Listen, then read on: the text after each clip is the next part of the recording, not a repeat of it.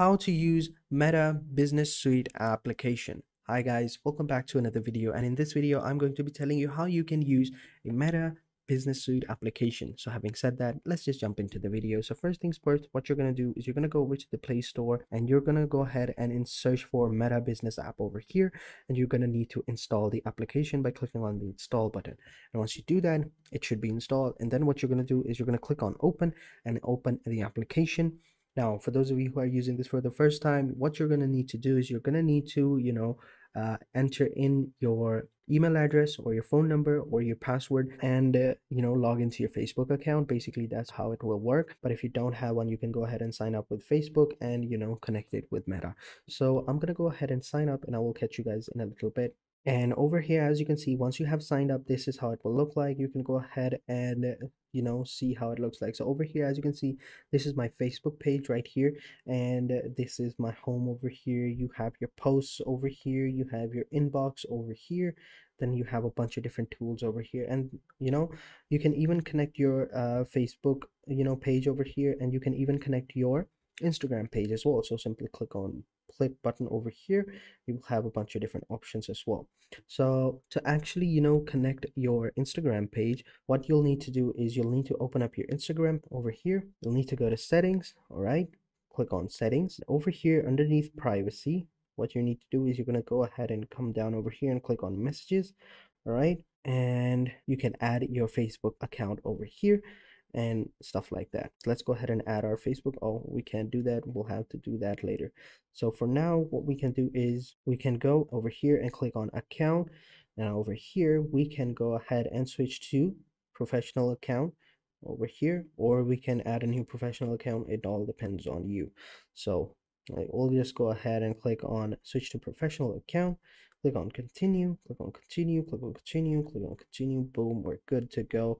You know you can go ahead and choose whichever category you fall into. We'll just say we're digital creator. We'll click on done. Wait a couple of seconds. It might take up to 30 seconds to finish creating your professional account. So just wait a couple of seconds. And over here we have the business account and then we have the creator account. We choose business and click on next over here check out your details. If everything looks good click on next. And let me just connect log into the facebook account real quick and continue as this person yes. And now we can go ahead and create a new facebook page. We'll just create that click on next. All right can't do that. We'll just skip this for now. And once we've done that we should be able to connect with our business account. So basically over here we have our stories right? We have promote photo all right? Let me just go ahead and add change this real quick right? This is my facebook page. So basically over here we have stories we have mentions we have photos we have planners we have a bunch of different options right? So for example you know if you want you can go ahead and add a bunch of different posts as well. So for example if you wanted to create a post or a story just simply click on create over here right?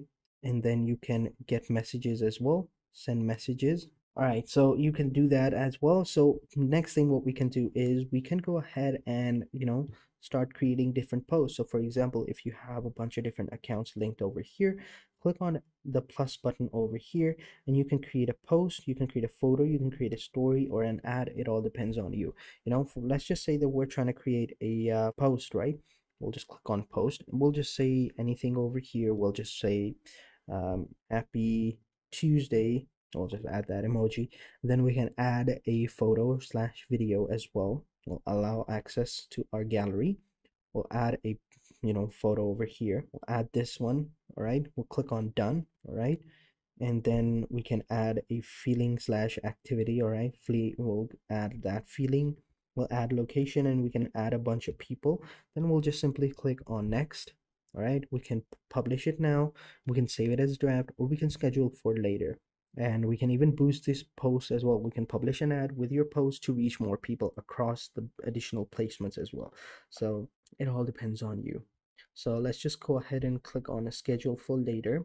We'll just schedule it for 10 all right and we'll just schedule it for 10 32 p.m all right we can only schedule posts between 20 minutes or 75 days.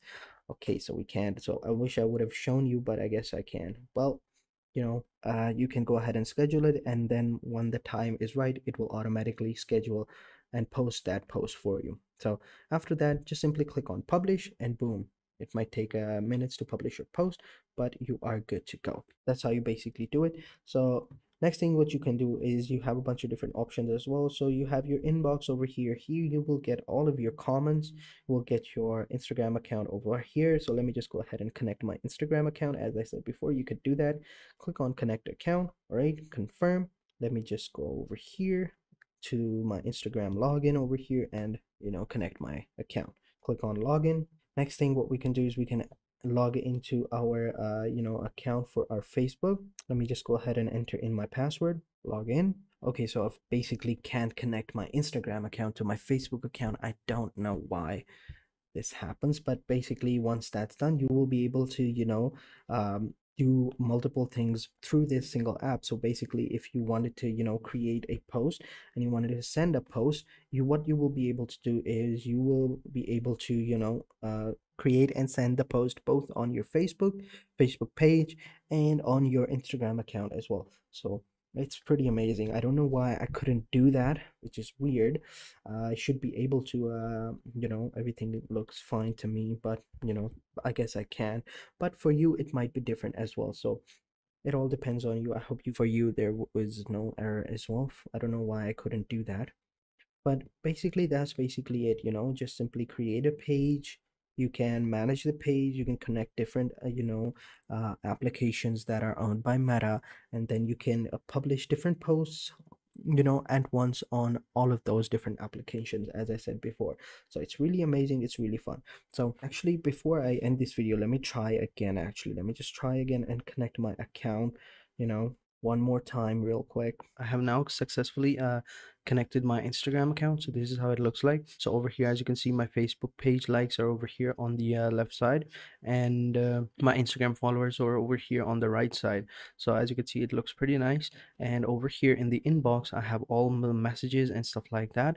And then in the comments, I have all the comments would appear over here as well. And same goes here. If I come over here and I click on add post, all right, I will be able to post anything on both my Instagram page and my Facebook page so for example, let's just say if I wanted to post a video, right? Just simply click on add photo. I choose this photo right here. And as you can see, this is the exact same photo before. I just simply click on done. All right. And now I will be able to write something and I can choose whether to post it on my Facebook account or my Instagram account. And uh, it all depends on you. So that's how you do it. And after that, all you have to do is click on next and boom, you're good to go. So that's how you basically, you know, use Meta Business Suite to manage both of your Facebook page and your Instagram page. And it's really fun. It's really easy. And over here on the left side, as you can see, you have a bunch of different options. You have ads, appointments, events, insights, and stuff like that. So in ads, you will be able to see all of your ads that you have created.